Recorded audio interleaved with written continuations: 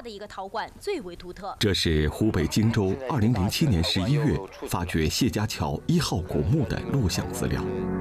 当时荆州电视台进行了现场转播，我们看到考古队在发掘到第六天的时候，已经清理出主棺外围的许多文物。专家判定，这是一座两千年前的墓葬。不过，当时人们最关心的是，这座棺木的主人是谁？主棺中是否还保存着墓主人的尸体，也就是古尸？目前完整出土的两千多年前的古尸，在世界上也没有几具。况且，每具古尸的出土都会带来一系列考古上的重大发现。看着主棺外围色彩艳丽的丝绸织物，专家推断，存在古尸的可能性很大。当发掘到了第七天，也就是大家期待着揭开这个谜底的时候，现场采访的荆州电视台记者李哲发现，墓穴的主观上有些不同寻常。大家从我们这个全景机可以看到啊，这个关照上面有一个非常特别的东西。这个白色的东西，刚才通过我们这个非常近距离的看的话，您看最北边这个地方是一个像是一个头一样的。这中间一个像身子，你看两旁还有一个，两旁还有胳膊这样的这样一种形状，这个我感觉非常特别。刚才我也请教了一下这个旁边的考古人员，他们说有可能我们这个墓穴跟以往的墓葬不太一样。当时正在演播室参与转播的专家嘉宾也看到了这个人形图案。这些见多识广、经验丰富的考古专家，面对眼前这个奇怪的场面，也是疑惑不解。第一次看到，第一次看到，第一次看到，这有可能是什么呢？这个第一次看到，有可能是像是不是有什么呃，下面有什么画呀，或者是什么，像帛画一样，像帛画之类的东西。嗯，这个但是不会画这么大，我想。这个真的是感觉看得非常的清楚，这个啊，嗯对。图案显现是在最后一层关罩上，关罩揭开之后就是一层关联，尾席移开后，图案就消失了。回放资料时，我们从电视上看到，主观上的图案真好像是一个身穿铠甲的武士，有头有身体，还有两只胳膊。这个图案到底会是什么呢？当时人们更关心的是关中的古尸，这件事就被放在一边。考古发掘已经进行了七天，专家们决定把这个墓葬的内棺从野外运回到博物馆。为了把对古棺的损害减到最小，整个荆州都在配合着考古队。在夜深人静的时候，他们把这个内棺搬了回来。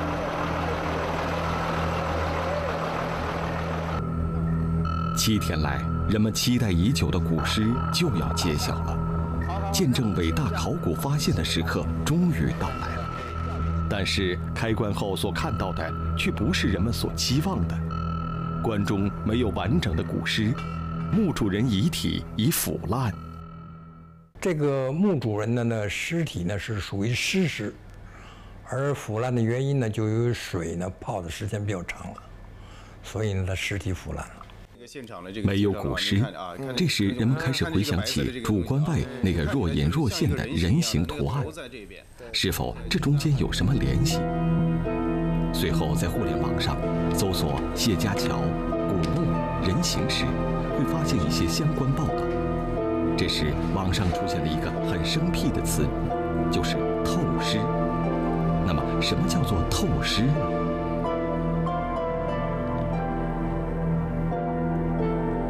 这座教堂坐落在意大利的都灵市，它之所以闻名，是因为它储藏着一件极品圣物。教堂里有一块裹尸布，据说是耶稣基督从十字架上被放下来以后，就是这块棉麻布包裹了圣主的身体。现在这块布上留下了一个逼真的人物图案。近几百年来，有人相信，有人质疑。并用许多方法来鉴别它的真伪但是时至今日仍然没有定论。人们说出现在这块裹尸布上清晰的人形图案就是透尸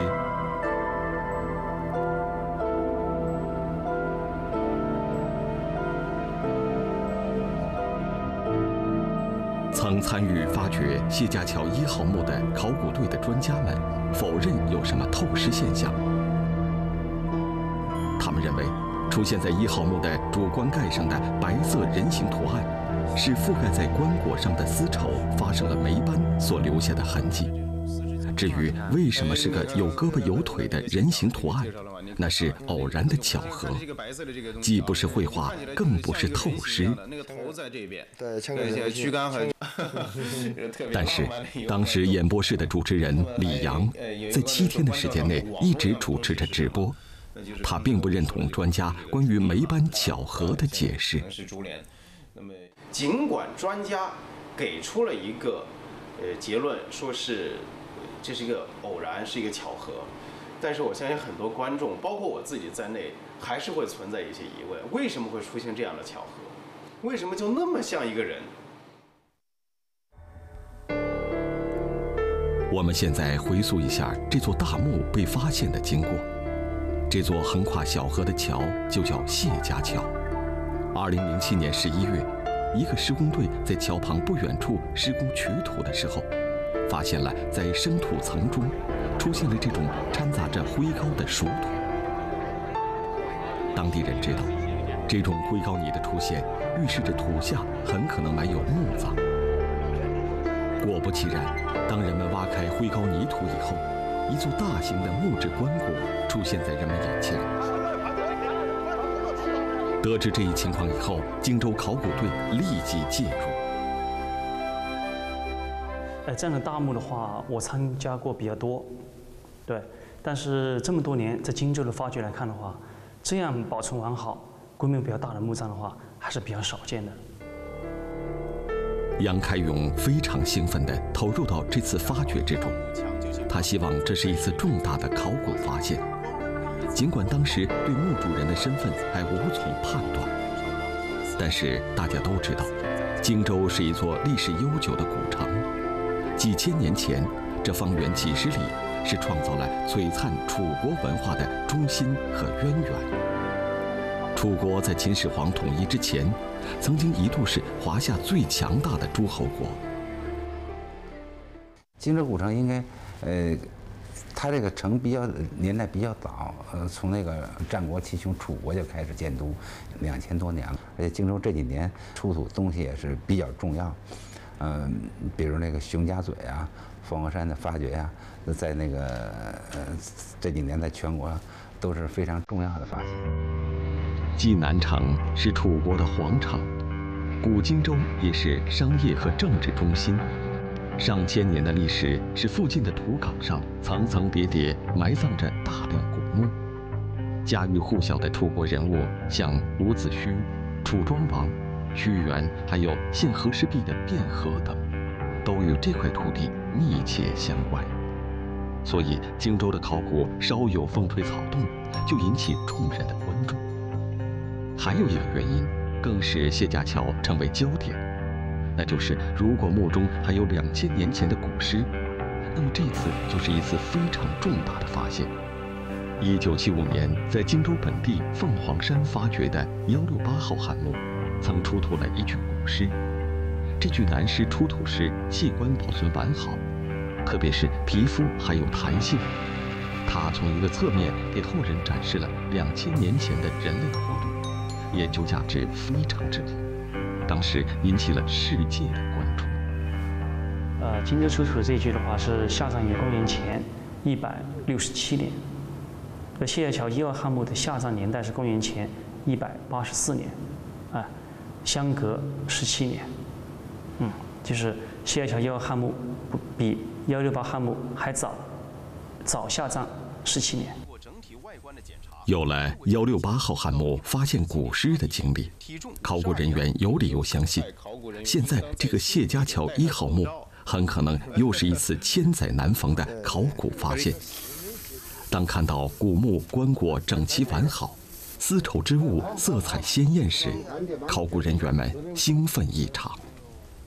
这就是我们当时的一个最大的悬念，就是说它保存这么这么完好，规模比较大，跟那个幺六八汉墓相比的话，我们就说想可能就是如果是里面有保存完好的古尸，那么又是一个重大的发现。但是这种兴奋的情绪很快就破灭了。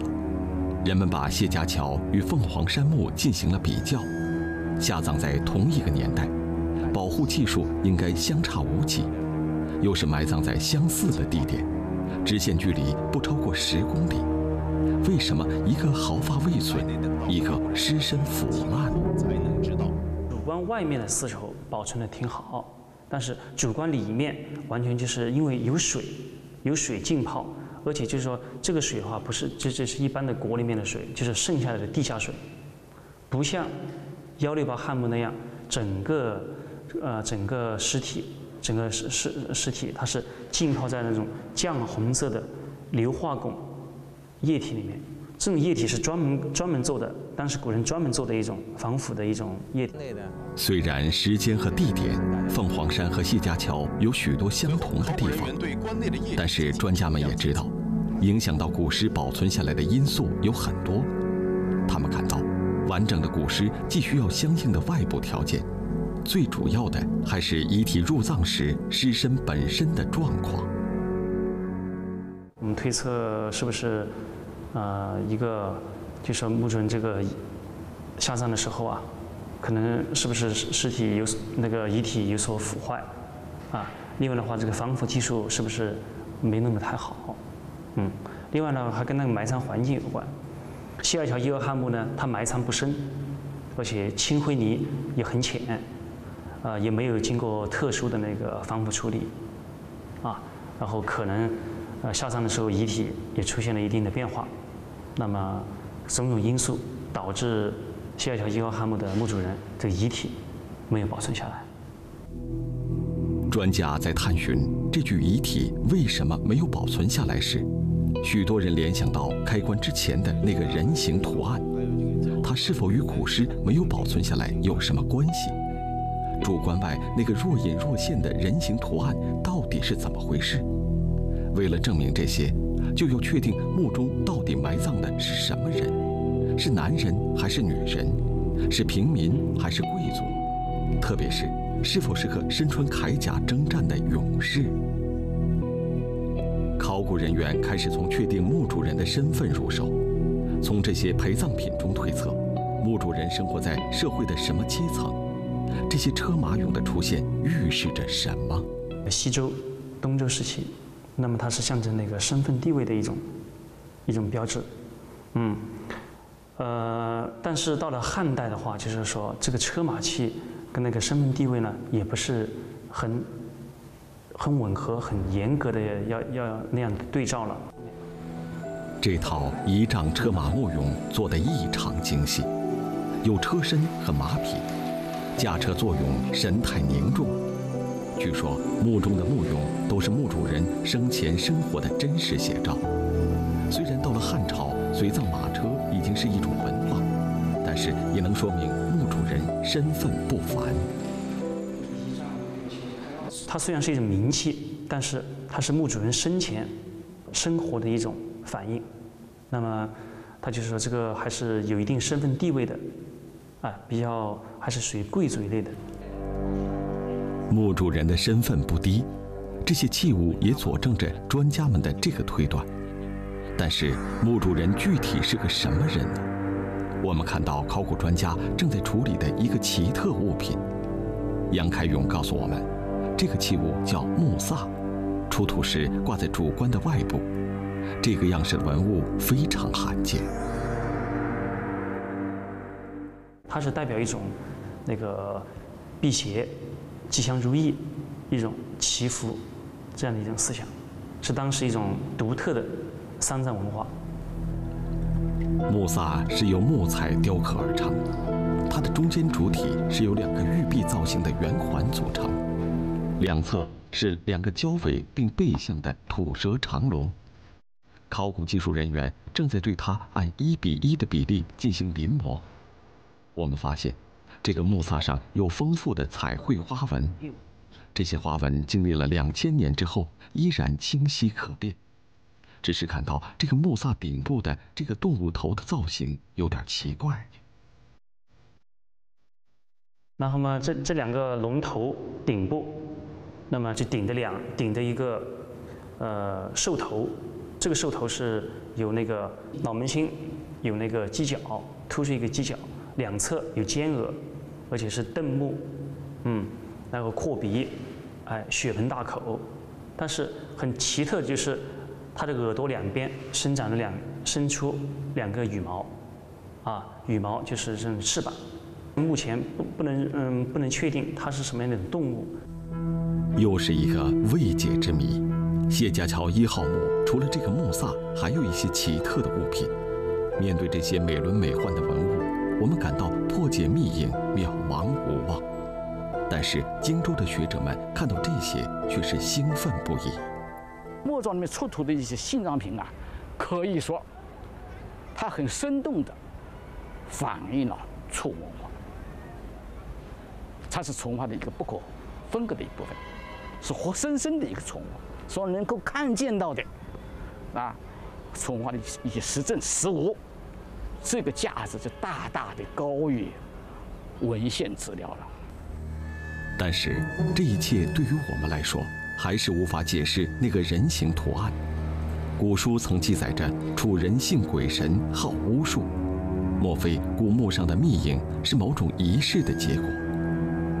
为了查找线索，我们要求近距离的看一看幺六八号汉墓中的古尸。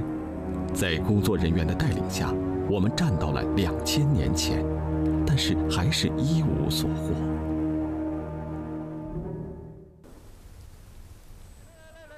解密谢家桥人形图案最直接的方法，就是证明墓主人是谁。当初人们在打开大墓的时候，曾有一个布包，在后期整理文物的时候。考古人员发现墓主之谜迎刃而解，布包中的木简和木牍记载着墓主人的身世和埋葬的情况，这种东西被称为告地书。我们通俗一点讲的话，这个告地书就是带着一份完整的一个，就相当于一个证件，或者是一个介绍信，到另一个世界去，呃，去报道时候用的。荆州博物馆馆长王明钦解读了这份告地书。告地书主要是记载了墓主人下葬的时间和墓中陪葬物品的名称、件数。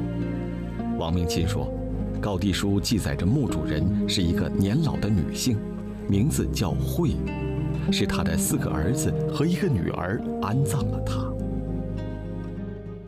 他的四个儿子，每个儿子都还是有一点爵位。都是都是都是当点官，然后呢有媳妇，有几个媳妇，还有他还有一个姑娘，一个女儿也是，这个都是在竹简上都记载了，而且都有我说应该是在在我们这个出土的这个墓俑上面有这样的反映的。谢家桥一号墓确实出土了不少墓俑，专家说，汉代人认为人死只是进入到另外一个世界。所以，他们把与他们生活有关的事物都带进坟墓。这些墓俑应该是些与墓主人密切相关的人，所以我们看到每个墓俑形态不一。一共有三十八个墓俑，形态各异，大小各异。那么，我我们我们想通过研究对照一下，哪些墓俑是他所提到的，一个个的把墓俑跟竹简上的对照。哎，他的名字啊，他的那个性别，这些都可以对照出来。另外的话，他的身份不同的身份等级与墓主人的关系，这些我们也可以做进一步的研究。这时，考古人员发现了一个难以理解的现象：在重要的告地书和殉葬品墓俑中，都没有出现墓主人丈夫的影子。这个叫惠的妇女，她有四个儿子和一个女儿。他可是有个不小的家庭。从这个墓里的出土的竹堵，呃和这个竹简来看呢，呃，墓主人呢是武大夫之墓会，是汉高祖时期的一个女贵族。出土的竹简上并没有记载墓主人丈夫的信息。我们再次联想到主观上的人形图案，这个影像会不会和墓主人惠的丈夫有关系？秦汉时期，他那个夫妻如果是合葬墓的话啊，他就是一般都是挨得比较近，啊，距离不不远，那方向大小这些都可能是都差不多，都相近。专家说，当时有种风俗是夫妻同墓而不同穴，就是说附近应该还有一个棺椁。但是谢家桥一号墓只是一个，为什么这样一个大家庭没有丈夫？而这位母亲会的棺外却有一个酷似男人的图案，而且好像是身着铠甲。西汉初年。是在秦国元明大旗建起来的。根据他的儿子，四个都有爵号，五大夫、两个大夫，还有一个不根，所以我估计啊，这位夫人丈夫也很可能在战乱中牺牲，战死。直接的证据就是他四个儿子都有军功的爵号。如果事实真如专家的推论，当这个老年女子在下葬时，丈夫早已战死，而且是死卧疆场。当妻子去世时，是否有种方法既符合合葬墓的风俗，又可以怀念她那个征战的丈夫？当时是不是儿女们在棺椁上画了一幅画，一幅她丈夫的画像？我们要求看看出土的那幅棺板，想验证一下这个推论，但到库房查看时，却发现棺板上已经没有任何图案了。有那个有一件小棉袄，嗯，还有一件丝织幡，嗯，它们整个正好是折叠放置的，嗯，那么这些丝织物都都有一定的那个霉菌，嗯，啊，那么正正好在这一块位置。包括这一块位置的话，就有一些那个发霉的比较严重，就是霉的发白。那么，呃，整个从外形上一看的话，就可能就是有一个，呃，就是类似一个人形的形状在那。其实这是那个丝织物的霉斑造成的。我们的调查到此结束，虽然还有一些异议，但是这个解释现在已被大多数人所接受。